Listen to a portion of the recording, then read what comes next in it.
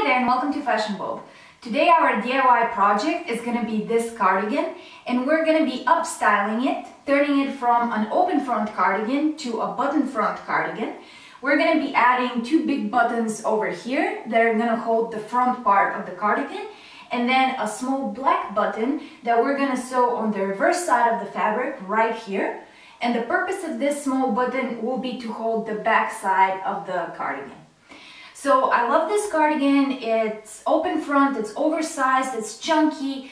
However, it's not very functional. As you can see, the fabric is quite thick, which means that I usually wear it during the fall or the spring. And if it's windy or cold outside, it really serves no purpose other than being pretty. So the purpose of this DIY will be to turn this pretty cardigan into something that is also functional and can be worn in a windy weather with me still being able to use my hands. So um, to do this DIY project, we're going to be using two big buttons like these over here. Uh, matching thread, so in this case it will be black, and also a small plain button um, for this part over here. You can obviously use whatever works best with the cardigan that you're working with.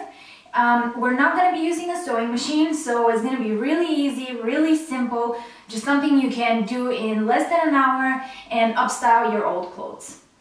A few things to note before we begin. First, I actually tried this a few days ago and it didn't go that well because I thought, well, let's just make buttonholes and use buttonholes to um, hold the cardigan here. However, this is a knit fabric, so basically when you make a buttonhole, it starts unraveling, it gets really loose, um, and it's just not suitable for uh, cutting and making holes for the buttons. So you can probably still see some of the scars uh, from this experiment. However, after trying this, I realized that there is an easier way that will totally work, and it is by using hair elastics. So I have these black elastics right here, and I'm gonna use them as loops that are gonna actually hold the cardigan to the buttons. So right here, and then I have a very thin black elastic that I will use for the small button on the reverse side here. So this will be really easy. Um, the only sewing that will be necessary is for the buttons. Um, everything else will be pretty straightforward. So the first step would be to actually figure out where you want the buttons to be. And to do that, you can just put the cardigan on and then use pins and a vanishing marker to mark the position of the buttons. Basically, you want some buttons on the front that are not only going to hold the cardigan, but are also going to be decorative. And you want one small button on the reverse side over here to hold the back side of the cardigan together. So once you do that, make sure that you check after completing every step. So this means that after you sew the first button and make the first loop, you should stop for a second, put the cardigan on, and figure out if the pins and the marker for the rest of the buttons still look good. Basically, you can adjust things as you move along and you get a lot better results than if you just do everything at once and then try it on at the end.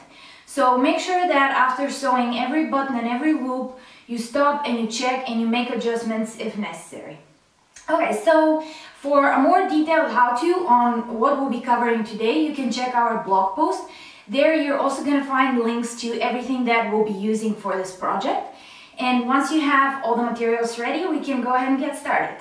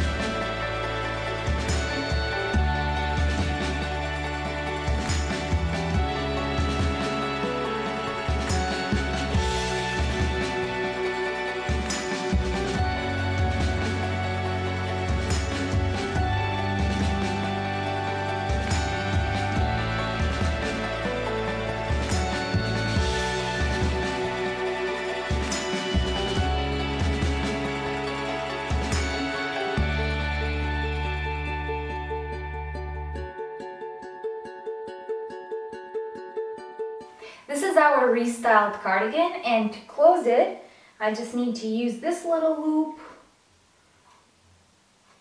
for the button on the reverse side and then the two big loops for the two buttons on the front of the cardigan.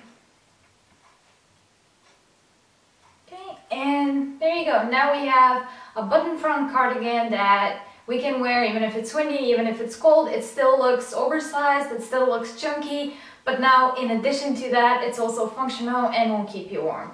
I hope you enjoyed this very short DIY project and that you give it a try. Subscribe to our blog and our YouTube channel to see other fun stuff we're working on. Thanks for watching and I'll see you soon.